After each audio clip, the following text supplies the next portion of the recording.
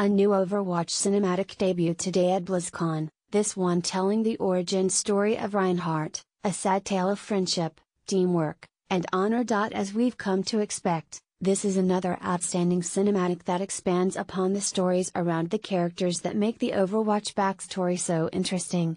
Young Reinhardt was arrogant, flashy, and impetuous, and not originally chosen to join Overwatch. Circumstances changed all that, and made him into the warrior he is now one who hears the call, and answers. Always. Blizzard also unveiled a new Overwatch hero today, the support healer Moira, and a new theme park map called Blizzard World. BlizzCon is on all weekend, and we'll keep you posted.